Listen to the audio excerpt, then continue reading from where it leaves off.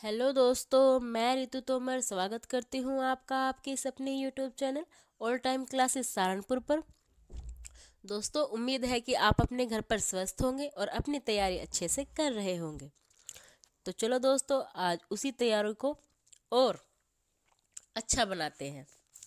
तो आज मैंने जो कल आपको कराया था, वर्णमाला टॉपिक वो आधा ही कराया था, क्योंकि फिर क्लास ज़्यादा लेंदी हो जाती। ठीक है? तो इसलिए जो छूट गया है, वही आज हम कंप्लीट करेंगे। तो वर्णमाला में कल हमने क्या क्या पढ़ा था दोस्तों? तो कल हमने वर्ण देखे थे कि वर्ण किसे कहते हैं? वर्ण के भेद कितने होते हैं? तो बस यही सब कल हमने पढ़ा था। तो आज क्या देखते हैं? आज भी वर्ण ही देखेंगे। तो चलो स्टार्ट करते हैं।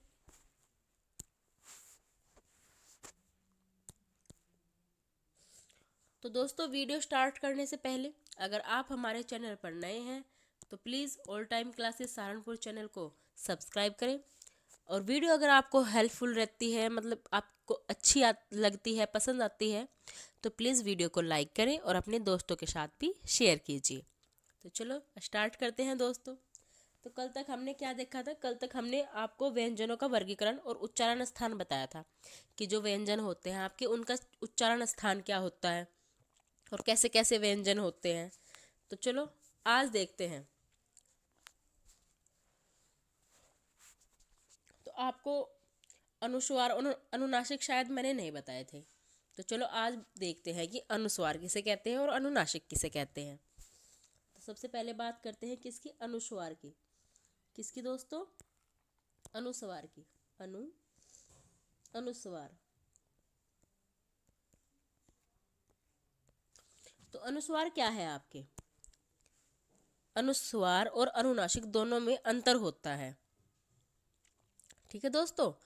तो अनुस्वार किसे कहते हैं?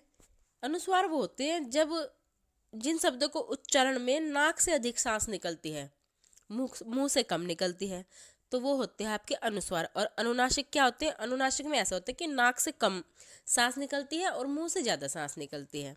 बस यही दोनों में जो है डिफरेंस है। तो अनुस्वार क्या है कि अनुस्वार के उच्चारण में, अनुस्वार के उच्चारण में, के उच्चारण में, अनुस्वार के उच्चारण में नाक से किससे? नाक से अधिक, नाक से अधिक सांस निकलती है। नाक से अधिक सांस निकलती है। सांस निकलती है। और इनका उच्चारण भी करेंगे हम, ठीक है? उच्चारण के आधार पर ही बताएँगे। तो अनुस्वार के उच्चारण में नाक से अधिक सांस निकलती है और नाक से तो ज़्यादा सांस निकलती है और मुख से कम निकलती है। मुख से कम। नाक से अधिक सांस निकलेगी और मुख से कम। मुख से कम निकलती है निकलती है। चलो बोल बोल के देख लेते हैं जैसे। जैसे आप बोल देते हैं अंग। अंग, देखते हैं कि नाक से ज़्यादा हवा निकली है बाहर और मुँह तो हमारा बंद हो जाता है। जब अंग बोलते हैं, अंग तो जीव देख के जीव तो ऊपर टच हो जाती है तो हवा ज़्यादा कहाँ से निकलती है? सांस सॉरी नाक से ठीक है? अंग, अंश, अंक अंश, अंक। तो ये कैसे है आपके? अनुस्वार। ठीक है? और दूसरी बात की अनुस्वार की पहचान कैसे होती है? तो दूसरी बात क्या है आपकी? तो दूसरा पॉइंट क्या है आपका? कि अनुस्वार की ध्वनि, अनुस्वार की की ध्वनि प्रकट, यानी कि ध्वनि को दिखाने के लिए के लिए अनुस्वार की ध्वनि को दिखाने के लिए वर्ण पर बिंदु लगाया जाता है। जैसे अंक, अंश पर लगा हुआ है ना, वैसे वर्ण पर बिंदु, वर्ण पर बिंदु लगाया जाता है। वर्ण पर बिंदु लगाया जाता है। लगाया जाता है। ठीक है? क्योंकि यह जो है ना, क्योंकि यह एक व्यंजन ध्वनि है। कैसी है? व्यंजन ध्वनि है, ना कि स्वर ध्वनि। जो अनुनासिक होते हैं, वो स्वर होते हैं। ठीक है? तो ये क्या है एक? क्योंकि यह एक, क्योंकि क्योंकि यह एक यह एक व्यंजन ध्वनि है। क्या है? व्यंजन ध्वनि है। क्योंकि यह एक व्यंजन ध्वनि है। ठीक है दोस्तों तो अनुस्वार क्या है कि अनुस्वार जब हम बोलते हैं तो बस नाक से ज़्यादा हवा निकलेगी बाहर और मुख से कम निकलती है। जैसे अंग मुख तो बंद हो गया, जीव ऊपर टच होकर के और नाक से ही अधिक सांस निकल गई। ठीक है? और दूसरी बात क्या है कि अनुस्वार की जो ध्वनि है, उन्हें हम दिखाने के लिए क्या करते हैं कि वर्ण के ऊपर ही एक बिंदी लगा जैसे बोल देते हैं ना अंक की बिंदी अंक की बिंदी ठीक है? तो वो लगा देते हैं। और ये क्या है आपकी? व्यंजन ध्वनि है ना कि स्वर ध्वनि ठीक है दोस्तों? और एक और बात। जो आपके तत्सम शब्द होते हैं ना उन सभी में अनुस्वार लगता है ना कि अनुनासिक। ठीक है? ये भी पहचान आपको अच्छे से याद हो जाएगी आज कि त, क्योंकि कई बच्चे तत्सम और तद्भव जो है आप पहचान नहीं पाते। तो तत्सम में क्या होता है कि जो भी अनुस्वार होता है यानी कि अंक की बिंदी जो होती है अंग अंग से अंगुर वाली तो वो आपकी क्या होती है? तत्सम होते हैं, एक ही बिंदी लगती है। ये खास तौर पर आपको याद रखना है। तो क्या है थर्ड कि तत्सम शब्दों में, क्या? तत्सम शब्दों में। तत्सम शब्दों में अनुस्वार लगता है। अनुस्वार, ना कि अनुनासिक। और आपको एग्ज़ाम में दे देते हैं अनुनासिक लगा करके। इसलिए आप कंफ्यूज हो जाते हैं और गलत हो जाते हैं आपके। तत्सम शब्दों में अनुस्वार लगता है। और कैसे लगता है? जैसे कुछ तत्सम शब्द लिख लेते हैं यहाँ पे। जैसे अंगुष्ठ, क्या हो गया आपका? अंगुष्ठ। अंगुष्ठ क्या है आपका? तत्सम शब्द है। दंत दंत और अंत्र। तो ये क्या है आपके तत्सम शब्द? और आपने देखा कि तत्सम शब्दों के ऊपर क्या लगता है? तत्सम शब्द में ही अनुस्वार लगता है, ठीक है? तो चलो दोस्तों, अब देख लेते हैं अनुनासिक, क्योंकि इन दोनों में डिफरेंस होता है। तो अब क्या देखेंगे हम? अब देखेंगे अनुनासिक, क्या? अनुनासिक। तो अनुनासिक किसे कहते हैं? बस उसका अपोजिट जब हम अनुनासिक को दिखाते हैं, उच्चारण करते हैं तो बस नाक से अब कम सांस निकलेगी और मुँह ज़्यादा खुलेगा, मुँह से हवा निकलेगी। तो जैसे तो पहले लिख लेते हैं कि अनुनासिक अनुनासिक अनुनासिक के उच्चारण में, अनुनासिक के उच्चारण में नाक से नाक से बहुत कम सांस निकलती है। क्या? बहुत कम। सांस निकलती है। निकलती है। और अब मुख से ज़्यादा निकलेगी। मुख से मुख से अधिक वायु निकलती है। मुख से अधिक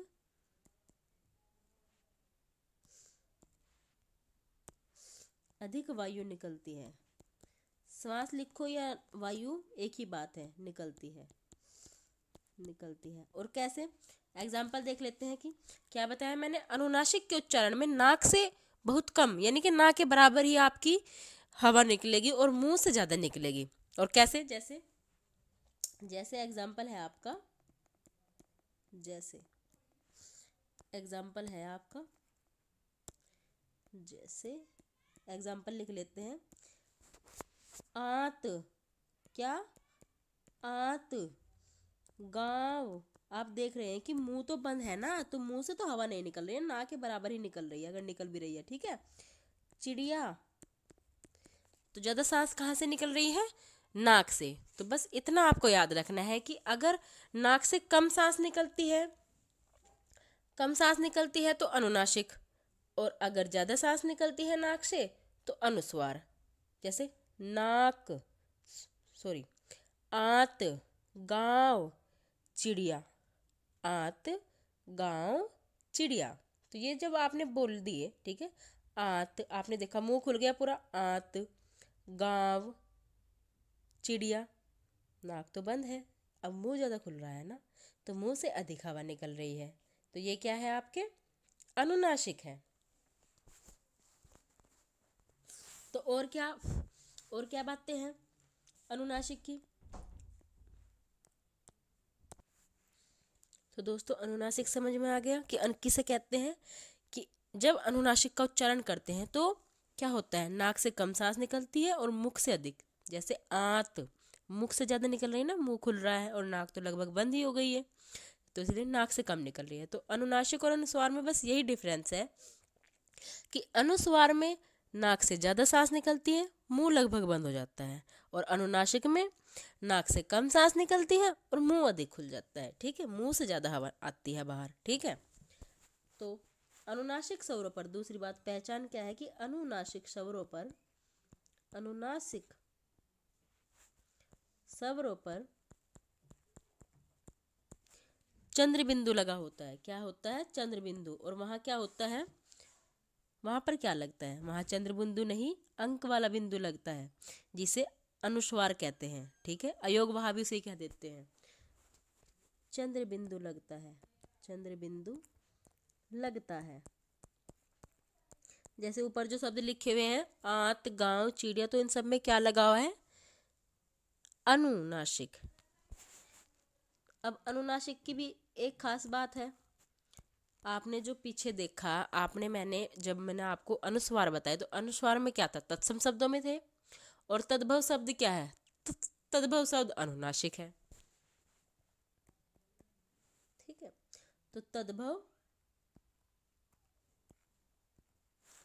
तद्भव रूपों में में चंद्र बिंदु लगता है। क्या लगता है? चंद्र बिंदु लगता है। आपने जितने भी तद्भव शब्द पढ़े होंगे, उनमें क्या है? चंद्र बिंदु लगता है लगता है। और कैसे लगता है? जैसे, कैसे लगता है?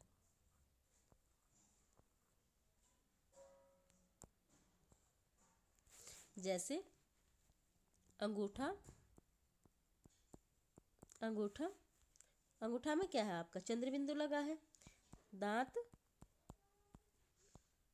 आत तो जिस, जिन जिन शब्दों में चंद्र बिंदु होगा, वो क्या होते हैं आपके? तद्भव। तो आज फिर दोबारा रिपीट कर दिया मैंने कि तद, तद्भव और तत्सम शब्द किसे कहते हैं? ठीक है दोस्तों? आँख हो गया, आँख हो गया आपका। आँख, अंगना। अंगना।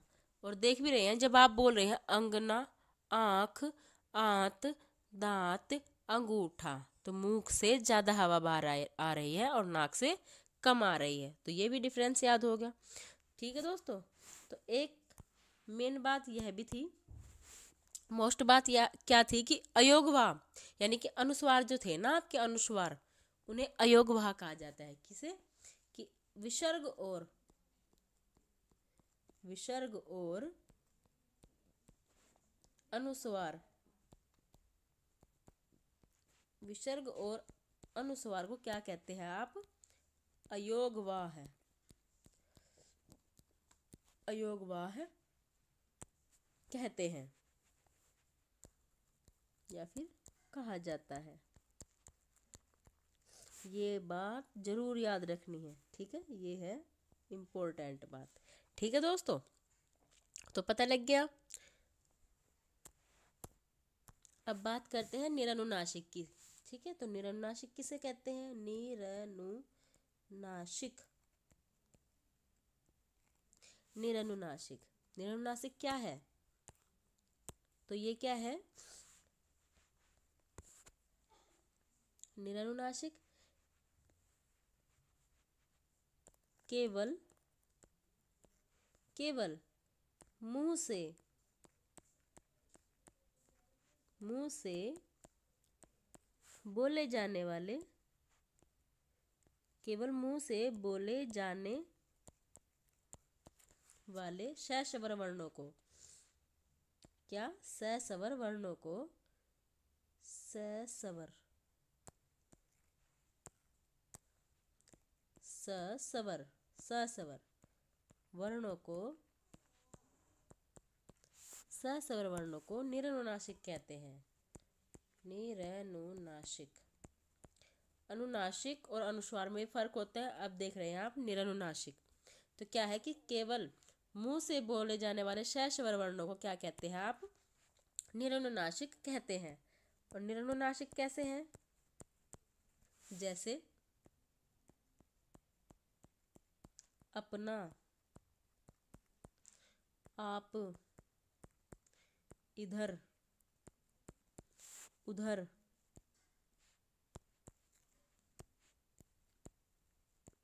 उधर घर। तो ये क्या है आपके? निरनुनासिक, जो सिर्फ़ मुख से बोले जाते हैं, ठीक है? ना तो नाक से सांस निकलेगी और ना ही मुख से। अब ठीक है? अपना आप इधर उधर। तो ये क्या है आपके? निरनुनासिक। अब विसर्ग विसर्ग किसे कहते हैं? ये भी देख लेते हैं दोस्तों। अब बात करते हैं किसकी? वैसे विसर्ग आपने देखे भी, विसर्ग हम क्या करते हैं? वर्णों के पीछे लगाते हैं। तो ये जो चिन्ह है, ये विसर्ग का है। तो किसे कहते हैं? तो यह भी क्या है? यह व्यंजन है और इसका उच्चारण किसकी तरह होता है कि जैसे दुख बोलते हैं ना आप, प्रातः तो है की तरह ही इसका वो होता है उच्चारण। तो यह क्या है? यह व्यंजन है। क्या है? व्यंजन है।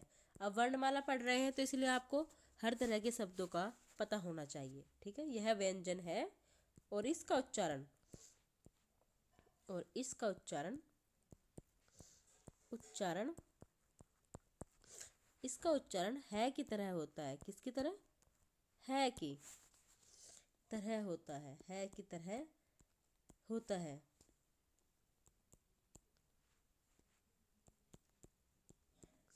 और दूसरी बात दोस्तों कि संस्कृत भाषा में तो हम यूज़ करते हैं, लेकिन हिंदी भाषा में थोड़ा कम ही यूज़ होता है। लेकिन कुछ जो तत्सम शब्द है उनमें इनका आज भी यूज़ होता है। तो चलो ये बात भी मैं लिख देती हूँ। क्या है? दूसरी बात कि संस्कृत भाषा में, संस्कृत भाषा में तो हो, व्यावहारिकता दिखती है इनके, ठीक है? संस्कृत भाषा में, संस्कृत भाषा में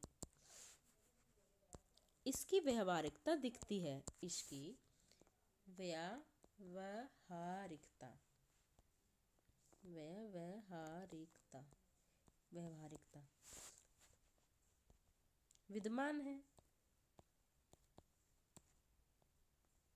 विद्यमान है, लेकिन हिंदी में तो कम है अभाव, ठीक है? लेकिन हिंदी में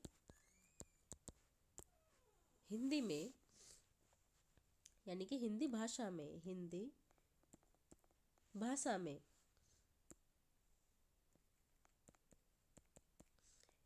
भाषा में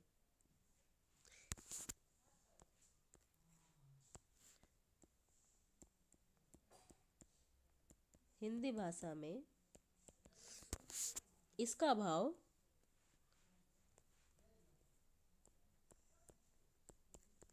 अभाव होता जा रहा है। इसका भाव यानी कम होता जा रहा है। होता जा रहा है। होता जा रहा है। हिंदी भाषा में क्या है इसका? कम यूज़ होता है। लेकिन संस्कृत में होता है। और दूसरी बात क्या है कि किंतु तत्सम शब्दों में होता है। किसका? किंतु तत्सम शब्दों में, तत्सम शब्दों में, तत्सम शब्दों के प्रयोग में प्रयोग में आज भी उपयोग होता है। आज भी उपयोग होता है।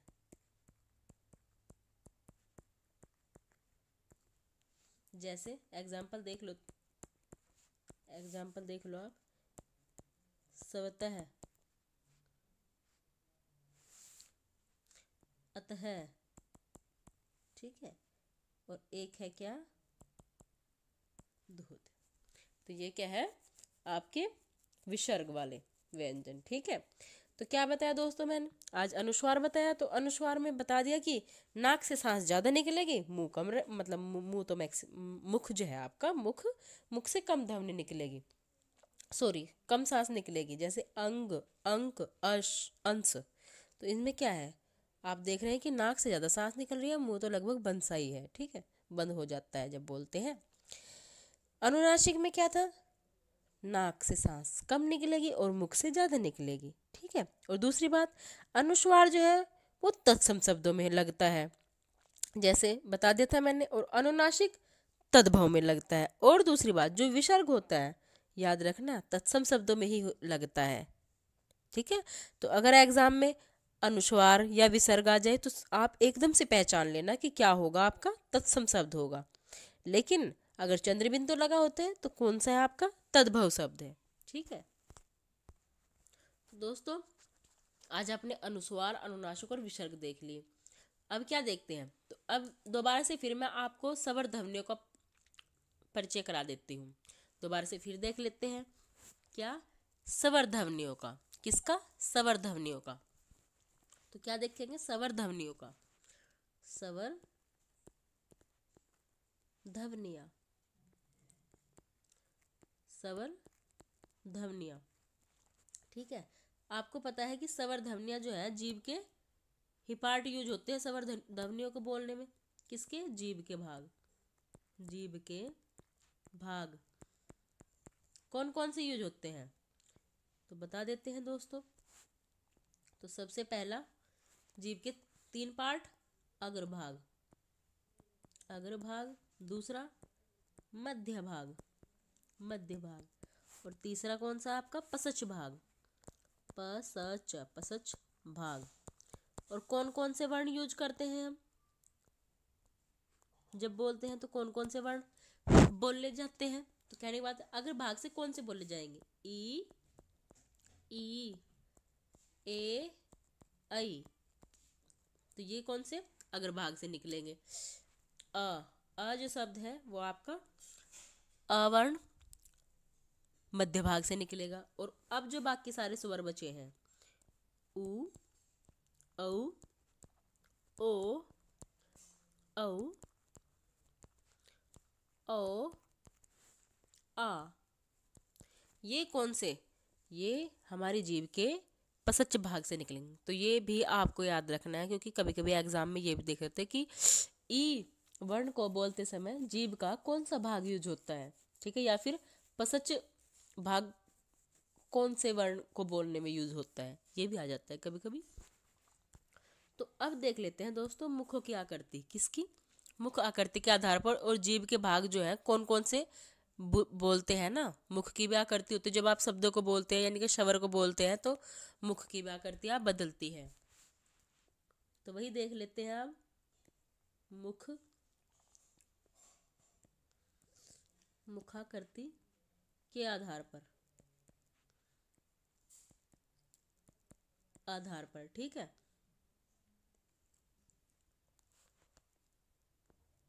और अब है जीव के आधार पर।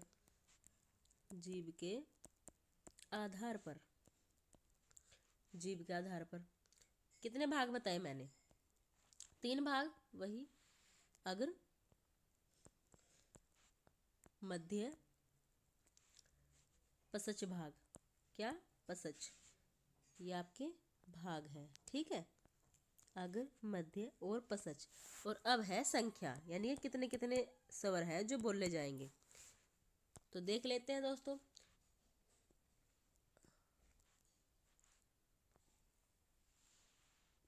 अग्रभाग तो सबसे पहले आते हैं कि संवर्त वर्त।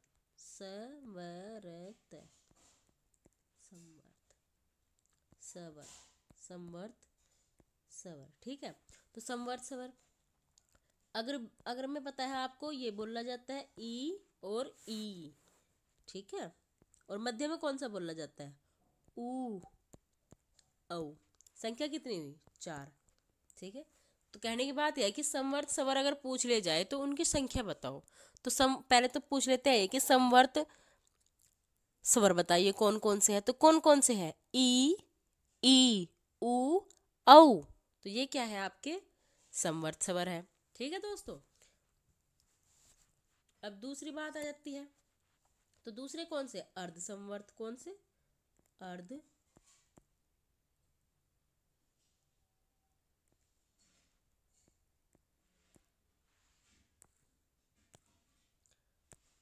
ये ऊपर वाला गलत लिखा गया है। ठीक है?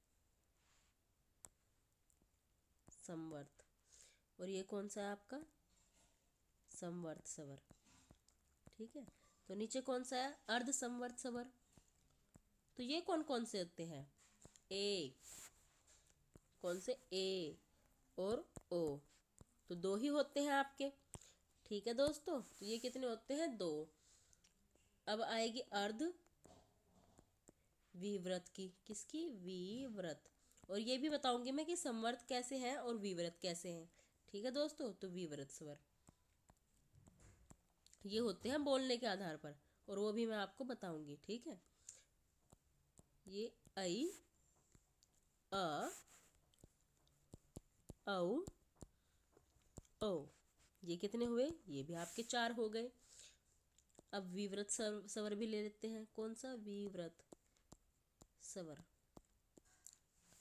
तो विव्रत सवर कौन कौन से हैं? सिर्फ़ एक ही है। आ ठीक है, संख्या कितनी है? एक ही है।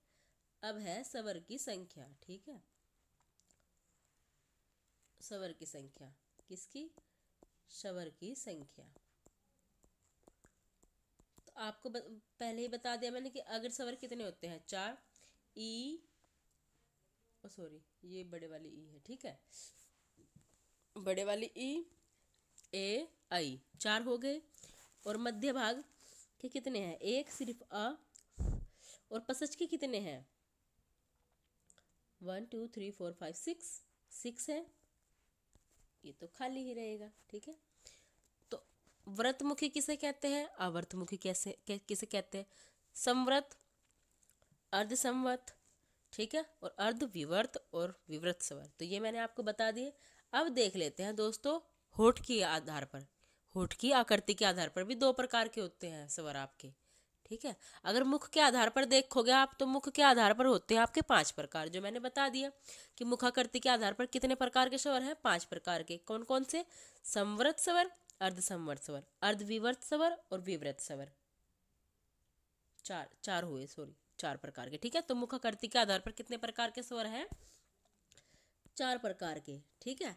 अब देख लेते हैं होठ की आकृति के आधार पर, यानी कि ओष्ठाकृति के आधार पर। किसके आधार पर? ओष्ठाकृति के आधार पर। ओष्ठ ओष्ठाकृति के आधार पर ओष्ठाकृति के आधार पर, के आधार पर। ओष्ठाकृति के आधार पर। मतलब कि होठों की आकृति के आधार पर। ये तो मुँह के आकृति के आधार पर बताए मैंने। और अब कौन से है? होठ की आकृति पे। तो होठ की आकृति के आधार पर कितने प्रकार के होते हैं आपके? दो। कौन से? एक होते हैं व्रतमुखी व्रतमुखी और दूसरे होते हैं आवृतमुखी। आवृतमुखी। आवृतमुखी। तो व्रतमुखी वो होते हैं जिन्हें बोलने में आपका जो होठ है, बिल्कुल गोल हो जाते हैं। व्रत का मतलब ही गोल होता है। और आवृतमुखी कौन से है? जिन्हें बोलने पर बस आपका मुँह पूरा गोल नहीं होगा। कम होगा, आधा होगा। ठीक है? तो व्रतमुखी कौन कौन से है? जैसे बोल के देख लो, ऊ, औ ओ ओ। तो ये कैसे हैं? देखो, आप जब इनका उच्चारण करते हैं, ऊ, औ, ओ, औ, आ। तो जब ये आप उच्चारण करते हैं तो आपके जो होठ है, वो बिल्कुल गोल हो जाते हैं। यानी कि व्रत बन जाता है। अब वहीं देख लेते हैं, आवर्तमुखी। आवर्तमुखी कैसे बोल लेंगे? अ आ, ई, ऐ, ए, ऐ। ठीक है? ए, आ, ई ई, ए, ऐ। तो ये कैसे? आवर्तमुखी, क्योंकि आपने देखा, अब होठ गोल नहीं हो रहे हैं। ठीक है? अब होठों की आकृति कैसी है? अब चेंज हो गई तो ये कैसे है? आवृतमुखी ठीक है? तो आवर्तमुखी देख लिया आपने, व्रतमुखी। व्रतमुखी वो सवर है, जिन्हें बोलने पर आपकी होठ की आकृति गोल हो जाएगी? और आवर्तमुखी वो है, जिन्हें बोलने पर आपकी होठ की आकृति कैसी भी हो सकती गोल को छोड़ करके। ठीक है? तो अब देख लेते हैं मात्रा। मात्रा तो वैसे आपने पढ़ी है आज तक। अब देखेंगे क्या हम मात्रा। तो मात्रा आपको पता है, मात्रा की परिभाषा क्या है? तो क्या है तो क्या है कि जब स्वरों का प्रयोग आप देखते हैं, व्यंजनों के साथ मिला के, किया जाता है? तो उनका स्वरूप ही बदल जाता है। किसका? सवर सॉरी व्यंजन का स्वरूप बदल जाता है। ठीक है? तो उन्हें क्या कहें? उन्हें मात्रा कहते हैं। तो मात्रा किसे कहते हैं? जब आप कोई व्यंजन बोलते हैं किसी मात्रा के साथ मिला करके उसका स्वरूप बदल दे, वही आपकी मात्रा है। तो जब स्वरों का, जब स्वरों का प्रयोग, जब स्वरों का प्रयोग व्यंजनों के साथ मिलकर व्यंजनों के साथ मिलकर, के साथ मिलकर, ठीक है, मिलाकर किया जाता है। किसका स्वर का प्रयोग? किया जाता है तब व्यंजनों का स्वरूप बदल जाता है, तब उनका स्वरूप किसका? व्यंजनों का स्वरूप बदल जाता है। बदल जाता है। तो उन्हें क्या कहते हैं? उन्हें ही मात्रा कहते हैं। उन्हें क्या कहते हैं आप? उन्हें आप मात्रा बोलते हैं। मात्रा मात्रा कहते हैं। और स्वरों की मात्राएँ कितनी होती हैं? कितनी मात्राएँ होती है स्वर की? तो हिंदी स्वरों की मात्रा कितनी होती है आपकी? ग्यारह। ठीक है? स्वर की मात्राएँ कौन कौन सी होती है? पहली बात तो ए, आ, ई, बड़ी ई, उ, छोटा उ, बड़ा उ, रीरी, ए, आई, ओ, औ। तो ये कितनी मात्राएँ हो गई आपकी? सवर कितने हुए? ग्यारह। तो इन ग्यारह सवरों की मात्रा कौन कौन सी है? चलो दोस्तों, मात्रा भी इनके नीचे लिख देते आगे कोई मात्रा नहीं होती, ये वर्ण में जोड़कर बोलते हैं हम। ठीक है? जैसे क के साथ लगा देते ना, अगर का हलंत वाला है तो समझो क है, आधा है, लेकिन उसके साथ जब आ जोड़ देते हैं तो वो हलंत हट जाता है तो आ की मात्रा नहीं होती। आ को तो ऐसे ही बोल देते हैं, ठीक है? आ की मात्रा होती है कौन सी? ये वाली। ठीक है? ये क्या है आपकी? आ की मात्रा। छोटी ई की मात्रा होती है ये, जो किसी वर्ण के आगे लगती है। और बड़ी ई की मात्रा होती है वो जो जो किसी वर्ण के पीछे लगती है ठीक है?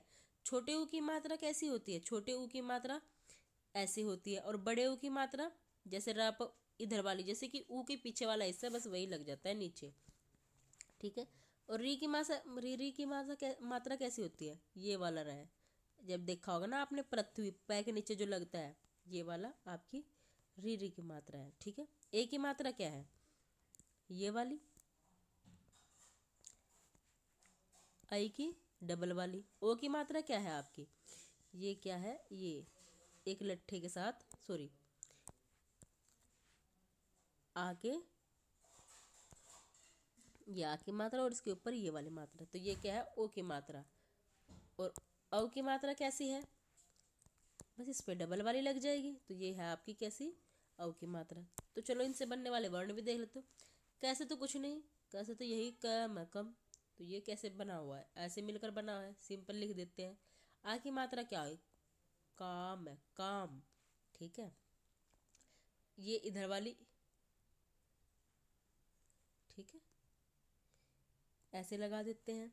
और इस पे ये कैसे लगेगी? ये इधर लग जाएगी कि ये ऐसे लग जाएगी कु, और ये ऐसे इधर वाली लग जाएगी। ये ऐसे लगेगी नीचे कर कर और ये कैसे लग जाएगी? कै पर एक ही मात्रा और ये कई।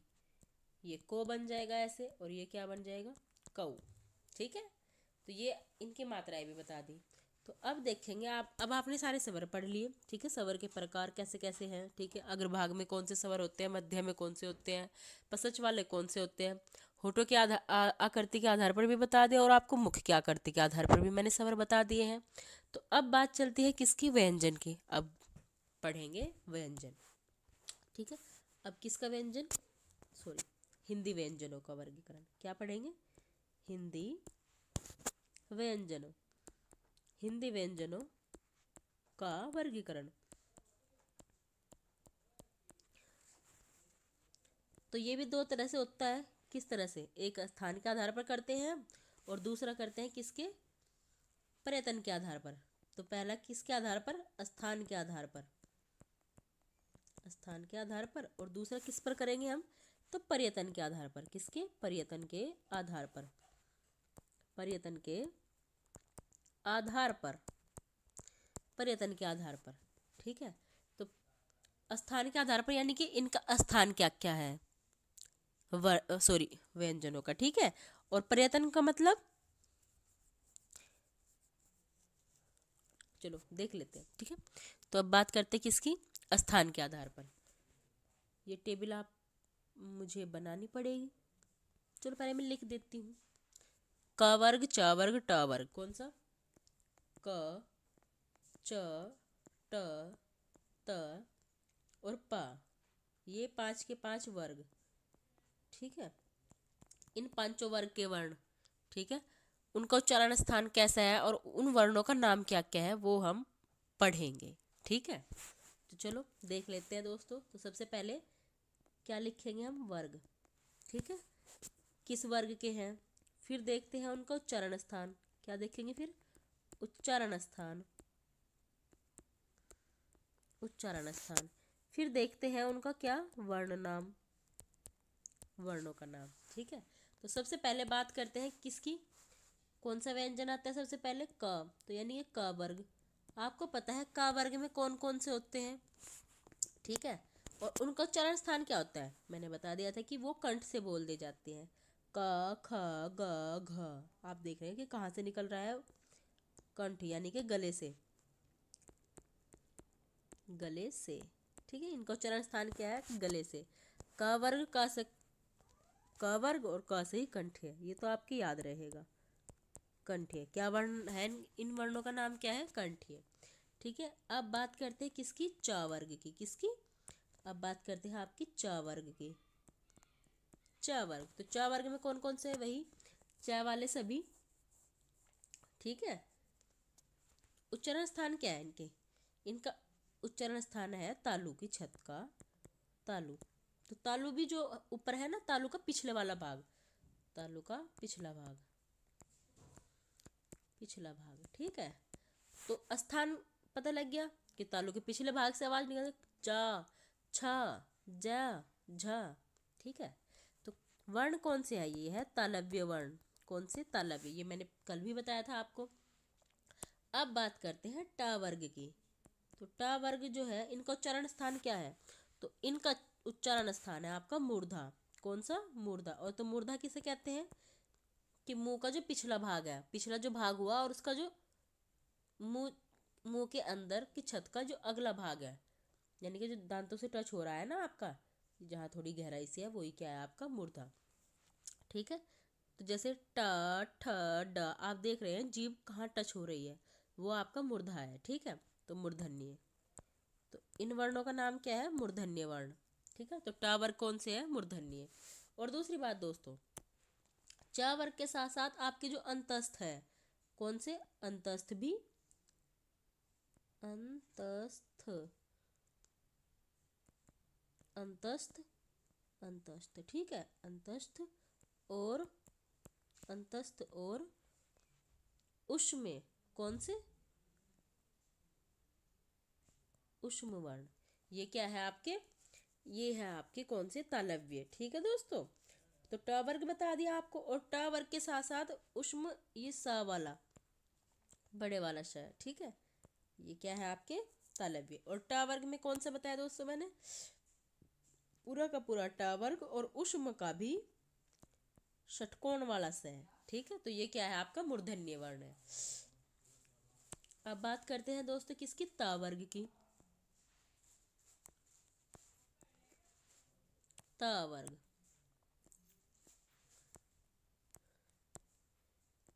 त वर्ग। तो त वर्ग कौन कौन से हैं? त, थ, द, ध, न। तो त वर्ग आप देख रहे जीव कहाँ टच हो रहे हैं? आपके दांत से। ठीक है? कहाँ से? दांत से। तो दांत ऊपरी वाला। ठीक है? ऊपरी दांत के निकट से। ऊपरी दांत के निकट से। ऊपरी दांत के निकट। ठीक है? तो ये कौन से है? दंतव्य। दंतव्य बोल दिए या फिर दंत्य बोल दिए, एक ही बात है। ठीक है दोस्तों?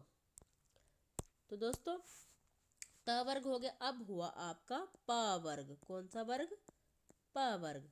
तो प वर्ग कौन कौन से वर्ण होते हैं? प, फ, ब, भ, म। आप देख रहे हैं कि अब दोनों होठ टच हो रहे हैं आपस में। प, फ, ब, भ, म। ठीक है? तो ये कैसे? ये ओष्ठीय वर्ण हो जाएँगे। तो यानी कि होठ से, होठ का यूज़ हो रहा बोलने में। दोनों होठ से बोल रहे हैं, ठीक है? तो कौन से हुए? ओष्ठीय वर्ण। ओष्ठ ये, ठीक है? तो ये कैसे हुए आपके? ओष्ठीय वर्ण। ओष्ठीय तो अब क्या बचा आपका?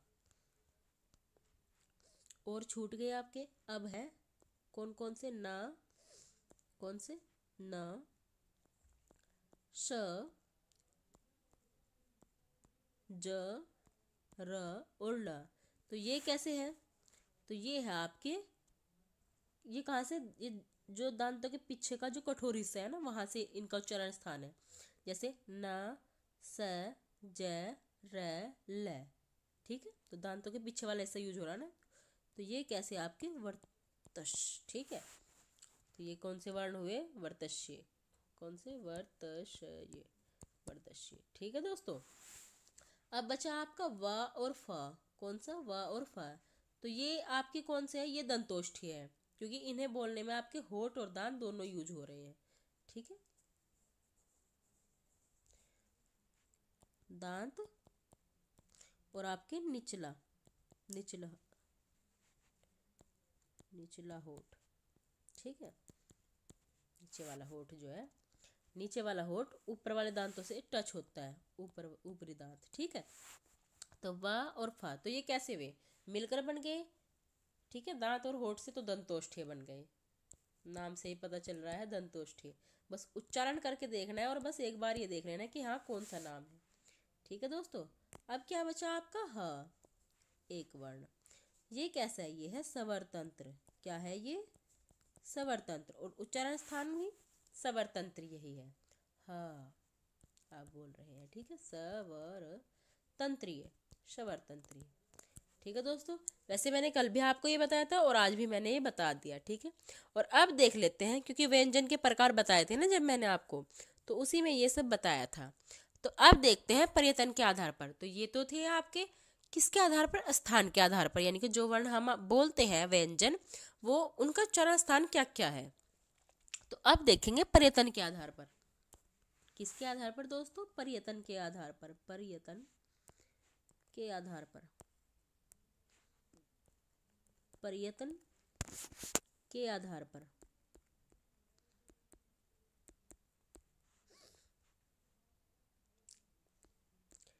पर्यटन के आधार पर। तो पर्यटन के आधार पर कितने प्रकार के बताए थे मैंने? छह प्रकार के, ठीक है? तो पर्यटन के आधार पर कितने हैं दोस्तों आपके? छह प्रकार के। छह प्रकार के। तो पहले स्पर्शी व्यंजन, कौन से? स्पर्शी व्यंजन स्पर्शी व्यंजन ठीक है? दूसरे कौन से आपके? संघर्षी व्यंजन कौन से? संघर्षी। संघर्षी व्यंजन, ठीक है दोस्तों? तीसरा है आपका स्पर्श संघर्षी। कौन सा? स्पर्श संघर्षी। क्योंकि एग्ज़ाम में आता है कि निम्न में से संघर्षी वर्ण छाटिए। या फिर बताइए। ऐसे आता है ना? और फिर आप वहाँ पे कंफ्यूज हो जाते हैं, क्योंकि आपने पढ़े हुए तो होते नहीं वो अच्छे से। तो आज आप अच्छे से सीख सकेंगे। अंतस्थ, ठीक है? फिफ्थ हो गया आपका। उत्क्षिप एक मिनट। उत्क्षिप्त, ठीक है? और सिक्स है आपका अयोगवाह है। ठीक है दोस्तों? तो यहाँ जो आपके अंतस्थ होते हैं ना दोस्तों तो ये भी तीन प्रकार के होते हैं। कितने प्रकार के? तीन प्रकार के। कौन कौन से? तो एक होता है अर्धसवर अर्धसवर। एक होता है आपका लुंठित लुंठित। और एक होता है आपका पार्श्विक। क्या? पार्श्विक। पार्श्विक। ठीक है दोस्तों? और दूसरी बात दोस्तों, अर्धसवर कौन कौन से आपके? य और व। ठीक है, और लुंठित लुंठित वो होता है, जब आप बोलते हैं तो कंपन सा आपको लगता है, ठीक है? और पार्श्विक होता है ल, जब आपकी जीभ टच होती है। तो ठीक है दोस्तों पर्यटन के आधार पर कितने प्रकार के होते हैं आपके? छह प्रकार के। और वैसे व्यंजन कितने प्रकार के होते हैं आपके? पाँच प्रकार के। कौन कौन से व्यंजन होते हैं पाँच प्रकार तो वैसे कितने बताए थे आपको? पाँच प्रकार के। स्पर्श अंतस्त उष्म, आगत और संयुक्त, ठीक है? लेकिन पर्यटन के आधार पर कितने हैं आपके? छह प्रकार के। तो अब देखते हैं दोस्तों कंपन के आधार पर। तो सवर तंत्रियों में उत्पन्न कंपन के आधार पर। अब क्या देखेंगे आप? सवर सवर सवर तंत्रियों सवर तंत्रियों में उत्पन्न कंपन के आधार पर, किसके? सवर तंत्रियों में उत्पन्न कंपन के आधार पर। कंपन के आधार पर। ठीक है? इसके आधार पर कितने प्रकार के होते हैं आपके व्यंजन? दो प्रकार के। कितने प्रकार के व्यंजन होते हैं इसके आधार पर? दो प्रकार के। ठीक है? तो सवर तंत्र में उत्पन्न कंपन के आधार पर कितने प्रकार के होते हैं? दो प्रकार के। एक अघोष अघोष और दूसरा होता है आपका सघोष सघोष ठीक है? एक अघोष और दूसरा सघोष तो अघोष किसे कहते हैं दोस्तों? तो अध, अघोष किसे कहते हैं कि इन ध्वनियों के उच्चारण में कंपन नहीं होता, ठीक है? इन इन ध्वनियों के, इन ध्वनियों के उच्चारण में, यानी कि जब हम इन वर्णों को बोलते हैं, व्यंजनों को आपके जो सवर्तंत्र है, उनमें कंपन नहीं होता। के उच्चारण में सवर सवर तंत्रियों में में कंपन नहीं होता। कंपन नहीं होता। नहीं होता है। तो ये कौन कौन से होते हैं दोस्तों? प्रत्येक वर्ग के प्रथम और द्वितीय वर्ण। कौन से? प्रत्येक वर्ग के प्रत्येक वर्ग के कौन से? प्रथम और द्वितीय वर्ग। द्वितीय वर्ग। प्रथम और द्वितीय वर्ग, ठीक है? तो ये और दूसरी बात। तथा, और भी होते हैं आपके। तथा, फ, श, स स। ठीक है, ये क्या है आपके? अघोष है। आप इन्हें बोलकर देखिए। क बोल दिया आपने, ख बोल दिया। च, छ। ट, ठ। त, थ। प, फ। आपने बोल दिया। कंपन हुआ? नहीं हुआ ना कंपन? तो इसमें स्वर तंत्रों में क्या होता है? कंपन नहीं होता। अब बात करते हैं सघोष की। तो सघोष कैसे है दोस्तों? इन ध्वनियों के उच्चारण में स्वर तंत्रों में कंपन होता है। कैसे? देख लेते हैं। ये सभी आप उच्चारण के आधार पर यानी कि बोलकर देखेंगे, तभी आपको इनमें डिफरेंस पता चलेगा, ठीक है? तो इन ध्वनियों के उच्चारणों में, इन ध्वनियों के उच्चारण में उच्चारण में स्वर तंत्रियों में स्वर तंत्रियों में कंपन होता है स्वर तंत्रियों में कंपन होता है। कैसे होता है, बोलकर देख लेते हैं अभी। जैसे जैसे आप उच्चारण करेंगे, वैसे वैसे ही आप वर्णों को अच्छे से समझ पाएँगे। तो कौन कौन से होते हैं कि प्रत्येक वर्ग के प्रथम और द्वितीय वर्ग अघोष में आएँगे और प्रत्येक वर्ग के तीसरे, चतुर्थ और पंचम वर्ण किसमें आएँगे? सघोष में आएँगे। तो प्रत्येक वर्ग के तृतीय चतुर्थ चतुर्थ और पंचम और पंचम पंचम वर्ण, ठीक है? तो ये क्या है आपके? सघोष है, पंचम वर्ण, ठीक है? और और भी है, ये वाला ड, ढ, ज, य, र, ल, व, य, र, ल व और ह, ठीक है? और सभी स्वर, जितने भी स्वर है आपके, सभी स्वर क्या है आपके? सघोष है। ठीक है? तो स्वर तंत्र में उत्पन्न कंपन के आधार पर कितने प्रकार के होते हैं? दो, सघोष और अघोष। आप एग्ज़ाम में देखते हैं कि निम्न में से अघोष बताइए, निम्न में से सघोष बताइए तो फिर वहाँ आप कंफ्यूज हो जाते हैं। तो इसलिए आज मैंने बहुत डिटेल से आपको बताया है। ताकि आप कंफ्यूज ना हो पाए, ठीक है? तो चलो, अब एक टेबल भी बनाकर देख लेते हैं। तो अब देख लेते हैं टेबल के आधार पर कौन कौन से। इधर देखेंगे हम, अघोष व्यंजन, कौन से? अघोष व्यंजन। अघोष व्यंजन।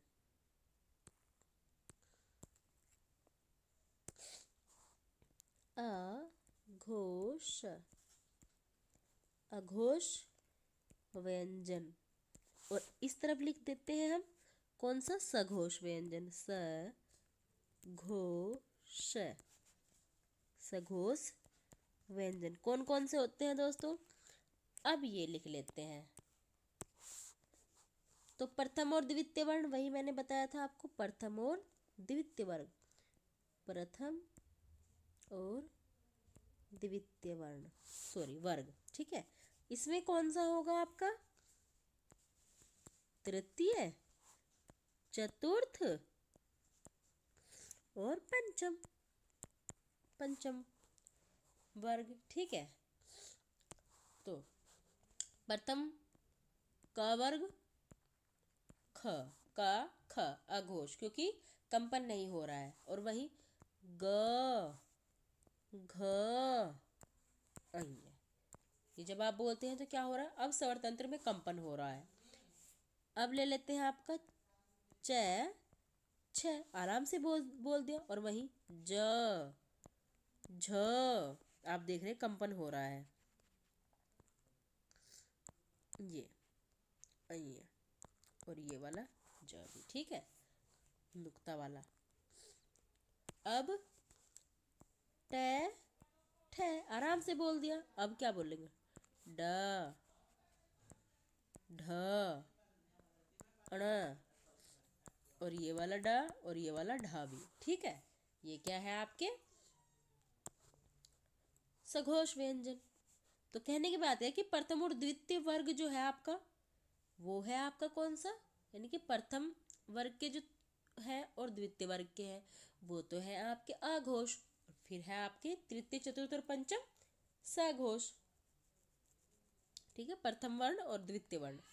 अब बात करते हैं त, थ। आराम से बोल दिया, लेकिन जब आप बोलते हैं द, ध, न। ठीक है, अब कंपन हो रहा है। प, फ। आराम से बोल दिया, लेकिन ब, भ, म। अब देख लिया आपने। अब कंपन हो रहा है, यानी कि सगोश जिसमें कंपन होगा वो सगोश और जिसमें नहीं होगा अघोष और दूसरी बात।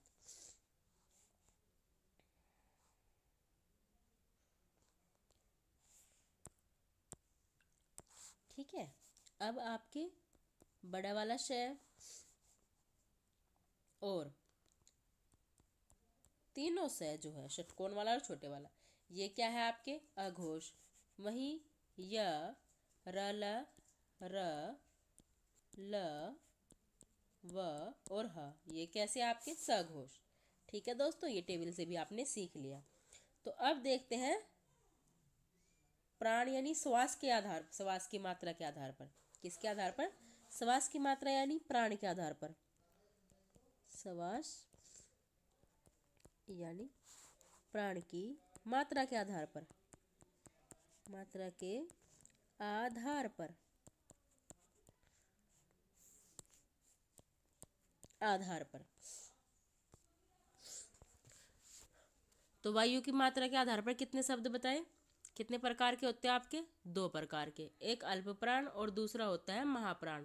अल्प प्राण कौन से होते हैं? क्योंकि जब इन व्यंजनों को हम बोलते हैं तो क्या होता है? आपके फेफड़ों से हवा जो है कम निकलती है। जैसे क, ग अ जब आप इनका उच्चारण करते हैं तो हवा कैसी है कि कम निकल रही है, आप बोल के देख रहे हैं।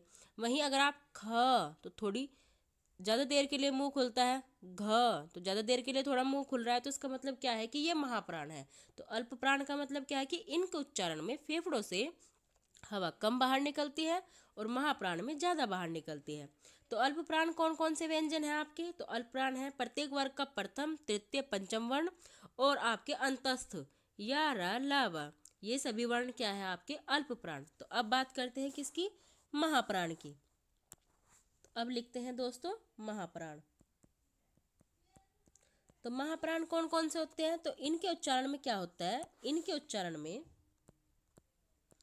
इनके उच्चारण में, यानी कि जब इन्हें आप बोलते हैं, इनके उच्चारण में फेफड़ों से हवा या फिर वायु, फेफड़ों से वायु अधिक बाहर निकलती है। अधिक बाहर निकलती है। तो महाप्राण कौन कौन से हैं आपके? अभी अल्प प्राण पढ़े हैं तो अब पढ़ेंगे महाप्राण। तो महाप्राण कौन कौन से आपके?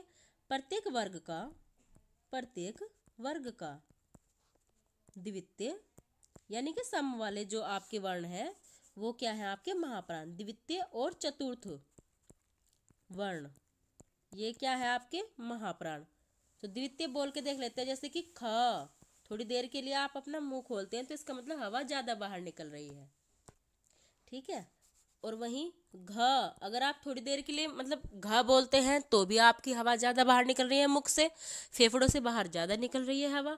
और अगर क बोलते हैं, ग बोलते हैं तो फेफड़ों से आवाज़ मतलब हवा कम बाहर निकल रही है। तो बस यही डिफरेंस है महाप्राण और अल्प प्राण में। तो महाप्राण कौन कौन से हैं आपके? प्रत्येक वर्ग के द्वितीय और चतुर्थ वर्ण। ठीक है? प्रत्येक वर्ग के द्वितीय और चतुर्थ वर्ण। और दूसरी बात। चतुर्थ वर्ण हो गया आपका। और दूसरी बात दोस्तों और वर्ण भी है आपके कौन कौन से हैं? और वर्ण है आपके। श, से,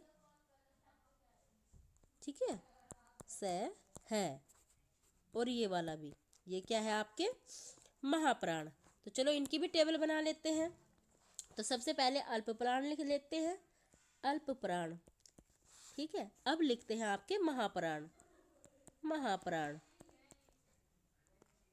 अल्प प्राण महाप्राण।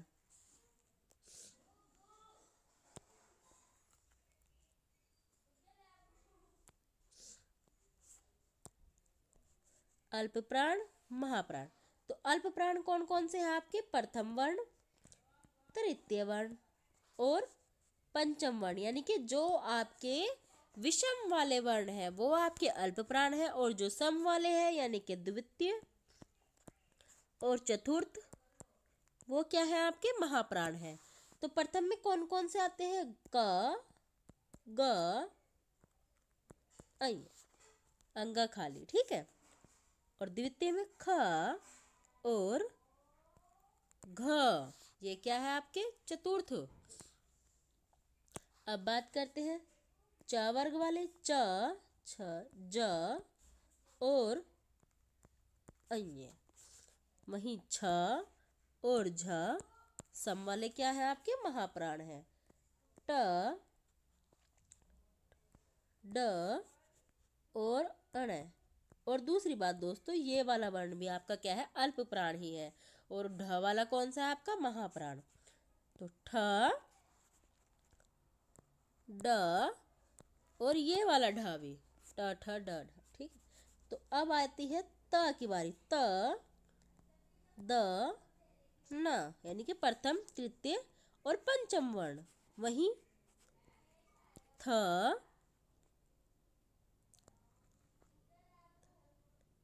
ध, ठीक है दोस्तों?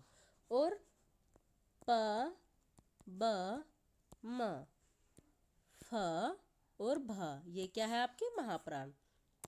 और दोस्तों, अब य, र, ल व, जो अंतस्थ वर्ण है वो आपके अल्प प्राण है और वहीं जो उष्म वर्ण है वो आपके क्या है?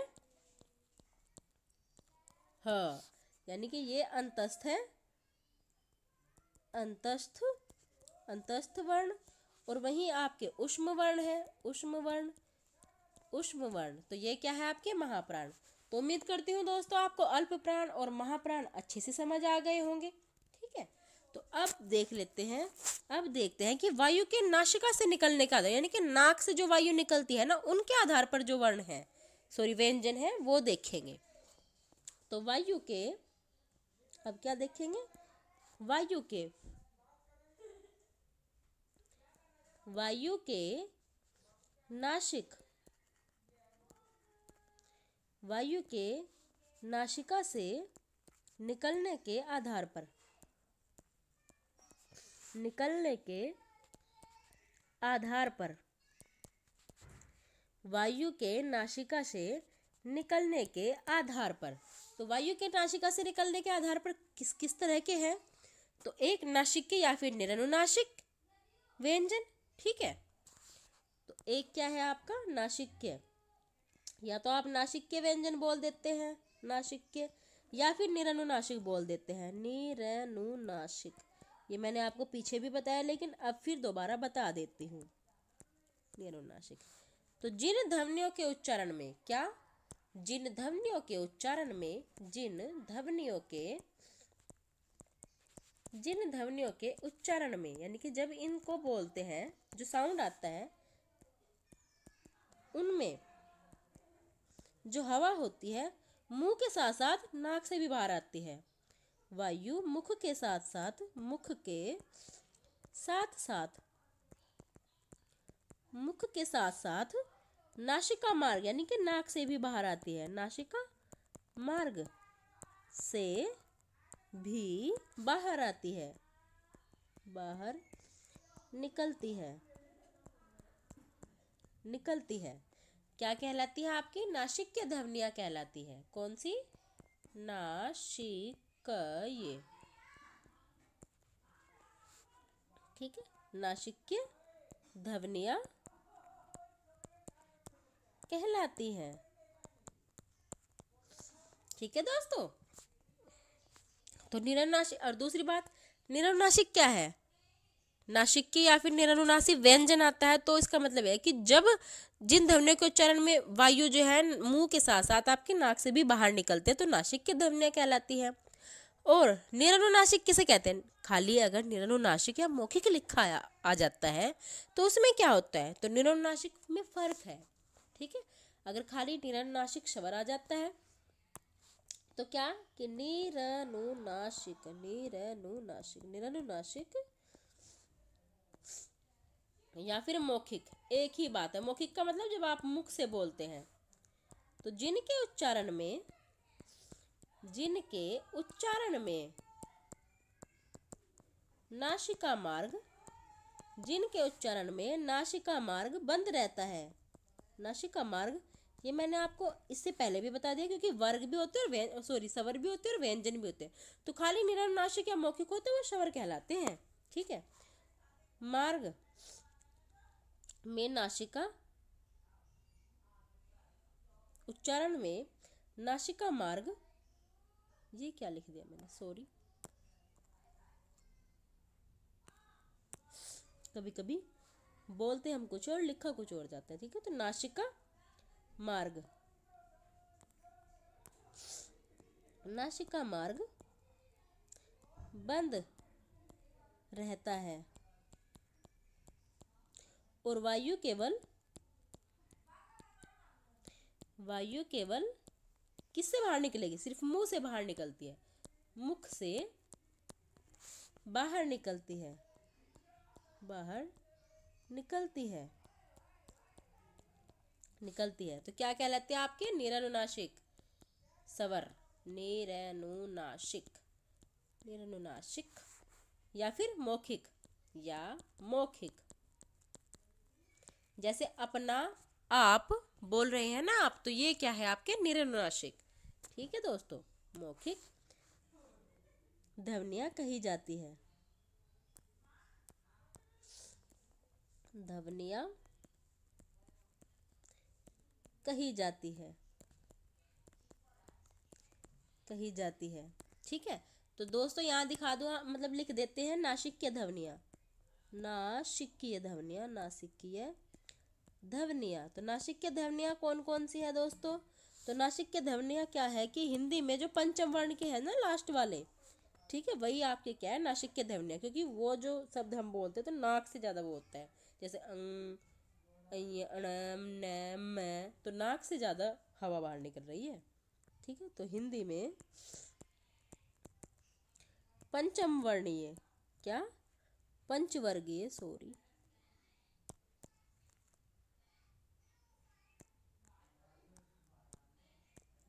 हिंदी में पंचवर्गीय पंचवर्गीय व्यंजनों के अंतिम पाँचों व्यंजन।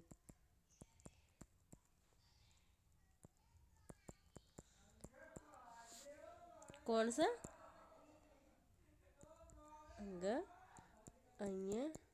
अण, न, म। ठीक है? तो ये क्या है आपकी? नासिक नासिक की अनुस्वार मैंने बता ही दिया था, अनुस्वार क्या है? जो ऊपर वाली बिंदी सी होती है, ठीक है? वो क्या है आपके? अनुस्वार। अब रह गए आपके आगत व्यंजन। कौन से व्यंजन दोस्तों? आगत व्यंजन। तो आगत का मतलब क्या है? जिसमें नुक्ता लगा होता है, ठीक है? जैसे क, ख में नुक्ता लगा दिया, और दोस्तों ग में नुक्ता लगा दिया, जा में नुक्ता लगा दिया, और फ में। ये क्या है कि विदेशी भाषाओं की ध्वनिया है ये। आगत का मतलब ही किसी और उससे आई हुई है, ठीक है? तो विदेशी विदेशी भाषाओं की ध्वनिया, विदेशी भाषाओं की ध्वनिया ध्वनिया, विदेशी भाषाओं की ध्वनिया, ठीक है? और दूसरी बात तो हिंदी में अलग, जो नए वर्ड, सॉरी, हिंदी में जो नए व्यंजन बने हैं, वो अलग हैं। और वो कौन कौन से हैं? देख लेते हैं, चलो। तो अब क्या देखेंगे हम? हिंदी में हिंदी में नए विकसित व्यंजन कौन कौन से हैं? नए विकसित व्यंजन। ये बोलने के आधार पर ही उत्पन्न हो जाते हैं, ठीक है? तो जैसे कौन कौन से हैं दोस्तों? जैसे आपका ये वाला। ढ, जैसे पढ़ना होगा ना, पढ़ना, सड़क नह, मह, लह, ये क्या है? ये आपके हिंदी से विकसित हुए हैं। और के कौन कौन से से? ड और ढ से तो ये वाला, ठीक है? और ये वाले मिलकर। और ये दोनों, ये जो शब्द है, ये हमेशा गुच्छों में, जो इनके मतलब कि दो से मिलके बना तो यानी ये गुच्छों में ही बोले जाते हैं, ठीक है? और न, ल, म, ये क्या है आपके अल्प अल्प प्राण व्यंजन है, और इनसे मिलके बने हुए हैं नह, मह, लह, ठीक है? तो आज इनके क्या है? महाप्राण रूप में। ठीक है? आपको पता है, न, म और ल क्या है? आपके अल्प प्राण है, लेकिन इनसे मिलकर जब ह इनके साथ लग जा, जुड़ जाता है तो ये क्या कहलाते हैं आपके महाप्राण? कभी कभी अगर मतलब कि सिंपल सा क्वेश्चन ना पूछ करके आपके ऐसे, आपको ऐसे ही कोई शब्द लिख कर दे तो क्या आप बताएँगे आप? ठीक है? तो इसलिए मैंने ये भी आपको बता दिया।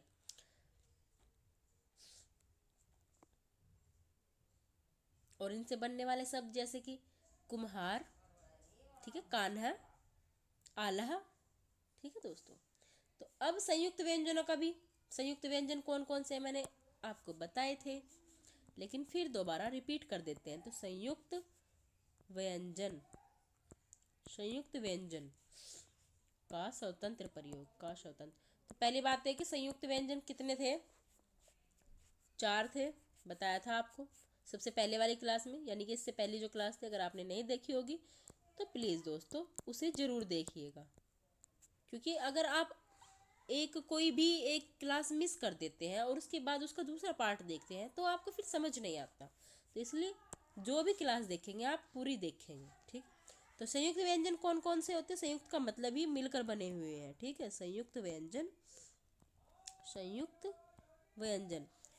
इसका अर्थ क्या है? जहाँ दो या दो से अधिक, जहाँ दो या, जहाँ दो या दो से अधिक, जहाँ दो या दो से अधिक व्यंजनों का संयोग रहता है। दो या दो से अधिक व्यंजनों का संयोग रहता है।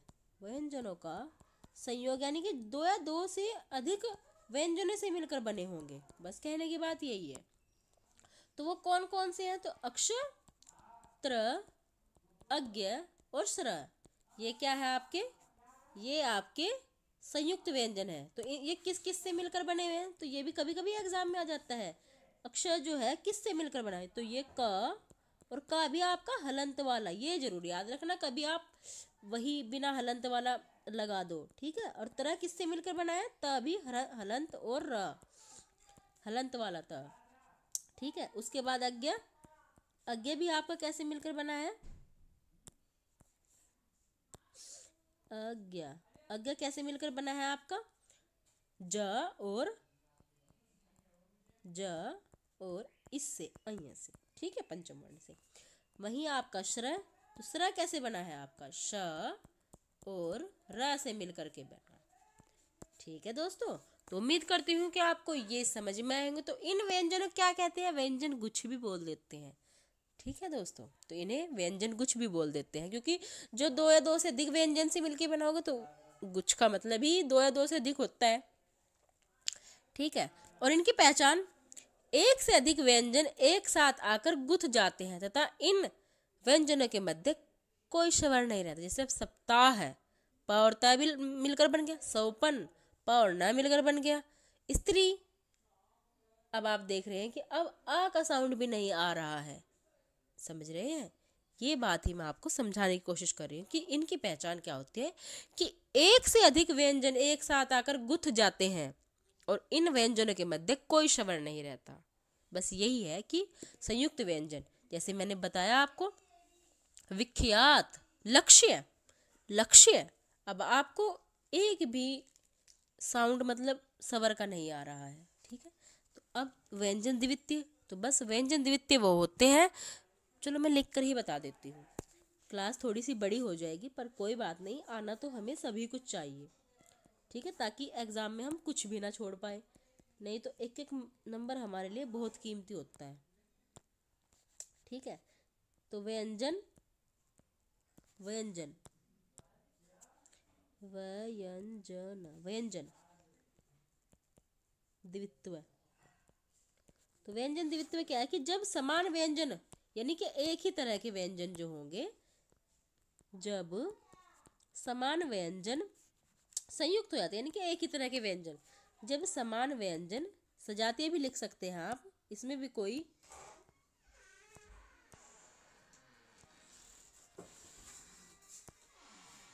तो जब समान व्यंजन संयुक्त होते हैं, समान व्यंजन डबल हो जाते हैं, संयुक्त होते हैं तो बस वही क्या आपके द्वित्व जब संयुक्त संयुक्त सॉरी जब जब समान व्यंजन संयुक्त होते हैं तो वही व्यंजन क्या कहलाता है आपके द्वित्व तब वे क्या कहलाते हैं आपके द्वित्व व्यंजन। तो वे क्या कहलाते हैं आपके? व्यंजन द्वित्व। द्वित्व। ठीक है दोस्तों? व्यंजन द्वित्व। तो द्वित्व व्यंजन कहलाते हैं। और द्वित्व व्यंजन कैसे? जैसे कि बच्चा लिख दो आप, ब, च, चा, बच्चा। तो ये च जो है, दोनों समान है और दोनों संयुक्त हो गए। तो ये क्या है आपका? व्यंजन द्वित्व है। ठीक है? और वहीं अगर उत्क्षिप्त की बात करूँ तो बस वही है कि जो वर्ण मूर्धा से टकराकर एकदम जब जीव जो है मुर्दा से टकरा कर एकदम से नीचे गिरती है, वही जैसे ढ, ड, ठीक है? अयोगवाह समझ ही गए होंगे आप, अनुस्वार और विसर्ग क्या क्या है आपके? अयोगवाह है। तो अब है दोस्तों विराम चिन्ह। क्या है अब आपके? विराम चिन्ह। तो विराम चिन्ह पढ़ेंगे अब। कैसे कैसे इनका यूज़ होता है। तो विराम का मतलब ही क्या है आपका? ठहराव। क्या है मतलब? विराम का मतलब है ठहराव। यानी कि जिस तरह हम काम करते हैं और फिर रुकते हैं, फिर आगे बढ़ते हैं। तो वैसे ही हम जब लिखते हैं तो लिखने में भी हमें विराम की आवश्यकता होती है। यानी कि जब हम अपना वाक्य पूरा कर देते हैं, कोई भी बात पूरी कर देते हैं तो तब हम थोड़ा विराम लेते हैं और फिर दोबारा बात शुरू करते हैं। तो वैसे ही क्या है? विराम का अर्थ क्या है आपका? विराम चिन्ह। ठीक है? तो विराम का अर्थ ही क्या है? विराम का अर्थ है, विराम का अर्थ है, ठहराव या रुकना, क्या? ठहराव या रुकना। जैसे जैसे हम बोलते हैं, या कोई वाक्य बोलते हैं, या फिर कोई वाक्य लिखते ही हैं तो हमें उसे ठहराव देने की आवश्यकता होती है। नहीं तो फिर सेंस नहीं बनता, अच्छे से हमें समझ भी नहीं आता। जब हम कोई बात बोलते हैं तो थोड़ा रुक कर बोलते हैं, ठीक है? जैसे वह बच्चा रो रहा है। अब हम चुप हो गए। फिर अगर कोई दूसरा वाक्य बोल लेंगे तो फिर थोड़ा रुक करके बोल लेंगे। ठीक है? तो यानी कि कहने की बात यह है कि हर वाक्य को या फिर किसी भी, कोई वाक्य हो या कोई भी काम कर रहे हो तो उसमें आपको ठहराव की ज़रूरत होती है। ठीक है दोस्तों? तो विराम का मतलब ही क्या है कि जब आप कोई वाक्य बोल लेंगे या कोई भी वर्ण बोल लेंगे तो रुक कर। ठीक है? तो यहाँ जो श्री गाम, कामता प्रसाद गुरु जी हैं तो उन्हें उन्हें के आधार पर हम क्या है? विराम चिन्ह पढ़ेंगे। तो श्री कामता प्रसाद गुरु जी ने विराम चिन्हों को अंग्रेज़ी से लिया हुआ मानते हैं। किससे? अंग्रेज़ी से, कि हमने ये जो है अंग्रेज़ी से लिए। तो वे पूर्ण विराम को छोड़कर से सभी जितने हैं आपके, अंग्रेज़ी संबंध रखते हैं उनका। ठीक है दोस्तों? तो विराम का अर्थ समझ लिया। तो अब देखते हैं कि श्री कामता गुरु किसके? श्री श्री कामता प्रसाद गुरु। श्री कामता प्रसाद गुरु के अनुसार, विराम चिन्हों की संख्या कितनी है? गुरु के अनुसार, श्री कामता प्रसाद गुरु के अनुसार के अनुसार विराम चिन्हों की संख्या कितनी है? बीस। कभी कभी एग्ज़ाम में भी आ जाता है कि कामता प्रसाद श्री कामता प्रसाद गुरु के अनुसार विराम चिन्हों की संख्या बताइए। तो विराम चिन्हों की संख्या कितनी है? विराम चिन्हों की संख्या कितनी है दोस्तों? बीस है। बीस है। और वह बीस कौन कौन सी है? तो अब देख लेते हैं। तो सबसे पहले बात करते हैं किसकी दोस्तों? तो सबसे पहले आता है आपका कौन सा भेद बता रहे हैं ना अब। तो सबसे नंबर एक पर आता है आपका अल्प विराम क्या? अल्प विराम तो अल्प विराम का मतलब क्या होता है? जब आप किसी वाक्य को या किसी शब्द को बोलकर थोड़ा सा रुकते हैं। जैसे कि अगर आपको दो या दो से अधिक या फिर तीन चार शब्द, कुछ भी बात हो, कोई फ्रूट के नाम ले लो, जैसे कि आम हो गया। आम, सेब, थोड़ा रुक रहे हैं, विराम ले रहे हैं। जब लिखेंगे आप तो ऐसे लिखेंगे। तो यहाँ पर हम अल्प विराम का यूज़ कर देंगे दो या दो से अधिक कोई वाक्य आप यूज़ करके बोल दो, या फिर कोई शब्द, ठीक है? तो थोड़ा रुक कर बोल दे तो ऐसे आप विराम चिन्ह का यूज़ करते हैं। और अब बात करते हैं दूसरी, कौन सी? अर्ध विराम। तो दूसरा कौन सा है आपका दोस्तों? अर्ध अर्ध विराम। अर्ध विराम तो अर्ध विराम क्या है आपका? ऐसे वाला। ये वाला। ये वाला क्या है आपका? अर्ध विराम इसका यूज़ कैसे करते हैं आप दोस्तों? तो अर्ध विराम क्या है कि जब आप अपनी कोई बात कहते हैं या फिर कोई भी बात कहते हैं तो एक ने तो बोल दी, ठीक है? और वहाँ जो थोड़ी शेष रह जाए, बस। और फिर जब आप उसे दोबारा शुरू करते हैं तो ऐसे करते हैं। अर्ध विराम लगा करके करते हैं। ठीक है दोस्तों? तो अब थर्ड है आपका कौन सा? पूर्ण विराम जब पूरा वाक्य बोल देते हैं आप, ठीक है? तो पूरा वाक्य बोल देने के बाद आपकी पूरी बात पूरी हो गई तो इसका मतलब आपने फिर विराम लिया। पूर्ण विराम चिन्ह आएगा वहाँ पे, ठीक है? फोर्थ क्या है आपका? पर्सन सॉरी हाँ प्रश्न चिन्ह। फोर्थ क्या? सॉरी गलत ही लिख दिया वो। प्रश्न। प्रश्न चिन्ह। ये तो आप अच्छे से समझ गए होंगे कि प्रश्न चिन्ह क्या होता है। ये, जब भी आप किसी से कुछ पूछते हैं तो वो क्या है आपका प्रश्न चिन्ह। फिफ्थ, अब है आपका आश्चर्य। जब आप कोई वाक्य या किसी की ऐसी बात सुन सुन सक, सुनते हैं, जिससे आपको थोड़ा आश्चर्य होता है तो उसके लिए आप ये विस्मयादि चिन्ह का यूज़ करते हैं। तो जैसे, हाय, वह मर गया जिससे दुख, प्रसन्नता आदि का पता चलता है विषम विषम आदि विषम आदि चिन्ह। तो वो क्या है आपका? आश्चर्य है।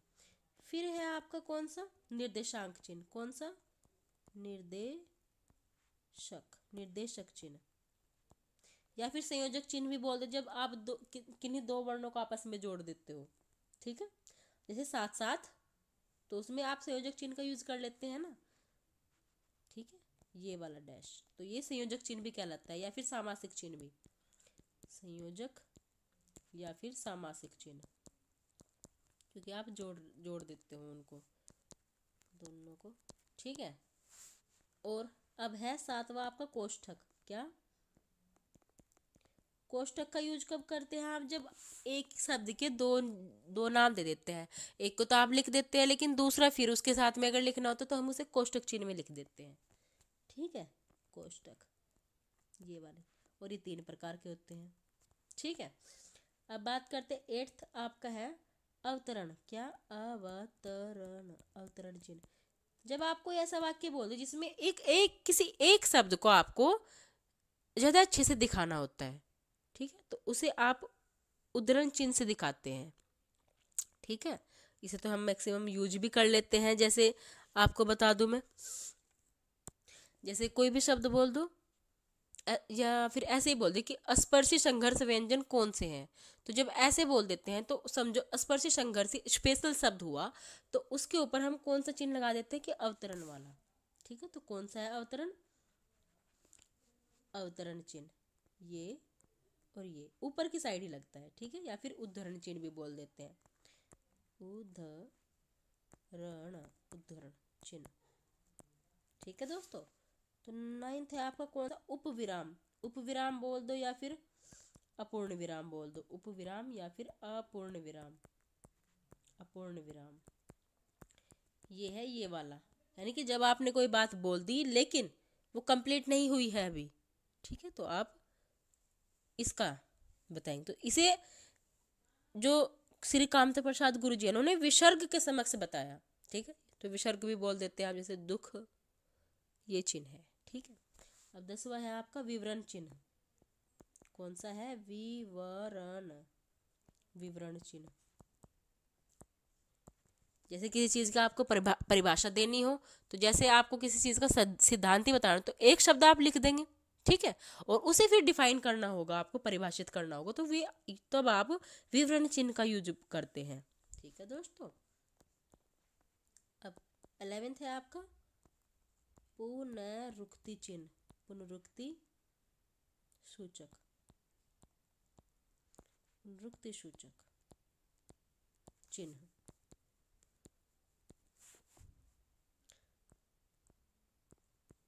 ठीक है, पुनरुक्ति। ये कौन से हैं आपके? ये वाले।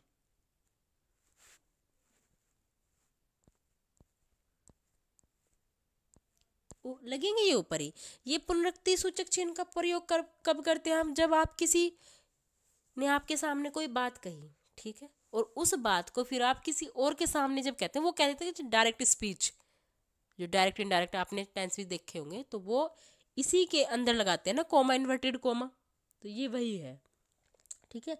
किसी की कही हुई बात को जब आप कहते हैं तो आप जब लिखते हैं उसे तो लिख कर अगर बताएँगे तो आप फिर इसका पुनरुक्ति सूचक चिन्ह का प्रयोग करेंगे।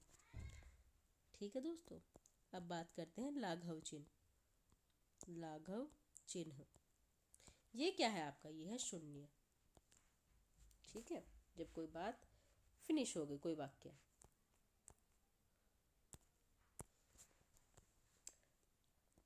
अब है आपका लाघव चिन्ह हो गया। अब आपका है थर्टीन कौन सा है? लोप चिन्ह। लोप चिन्ह या रिक्त जैसे आप देखते हैं ना कि रिक्त निम्न में से रिक्त स्थान भरिए। ठीक है? कोई वाक्य बोल देते हैं और उसका एक शब्द आप छोड़ देते हैं। तो यानी कि उसकी जगह पर आप किसका यूज़ करते हैं? लोप चिन्ह का। ठीक है? तो कैसे? जैसे कि वो डैश डैश डैश डैश ऐसे यूज़, सॉरी, अच्छे से नहीं लिखा गया। डैश।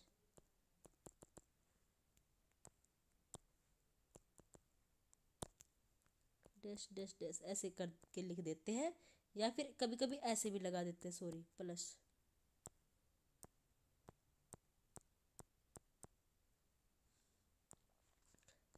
या फिर ऐसे? या फिर ऐसे भी लिख देते हैं आप, ठीक है? अब बात करते हैं नंबर फोर्टीन की। फोर्टीन पर है आपका पाद चिन्ह है पाद चिन्ह है। ये क्या है आपका? ये ये वाला है। जब आप देखते हैं, एक शब्द बोल दिया, उसके बाद दूसरा शब्द, एक शब्द मतलब कि जैसे कि अल्फ़ाबेट ही लिख लो आप।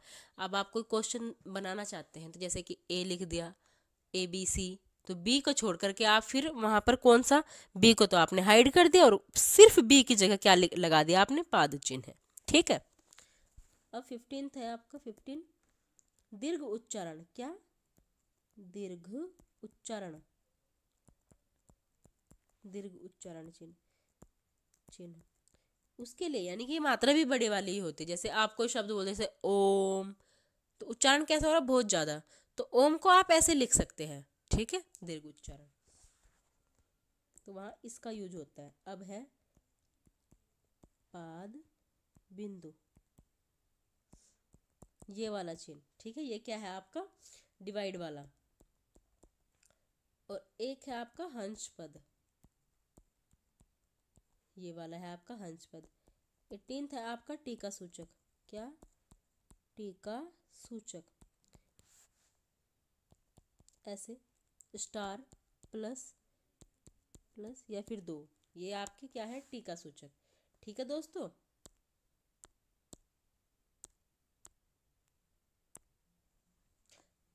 अब नाइनटीन है आपका कौन सा? तुल्यता सूचक। तुल्यता सूचक। तुल्यता सूचक कौन से हैं?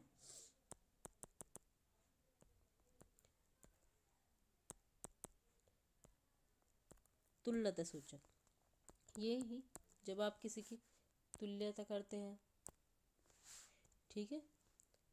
ट्वेंटी है आपका समाप्ति सूचक। जब आपका पूरा कोई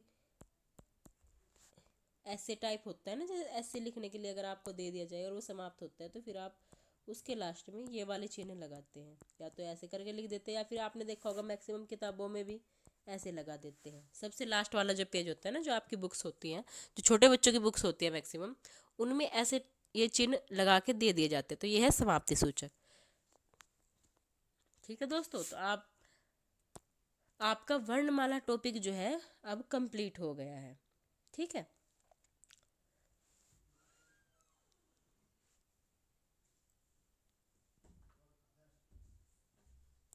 तो दोस्तों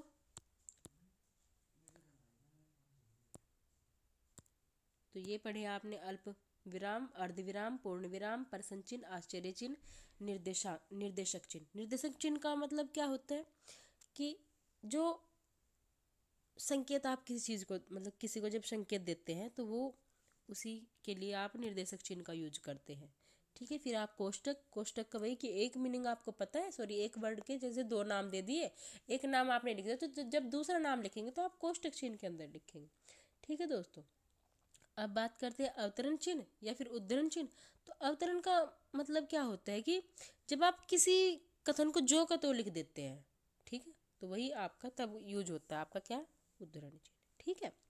उसके बाद अपूर्ण विराम, अपूर्ण का मतलब विसर्ग होता है, ठीक है?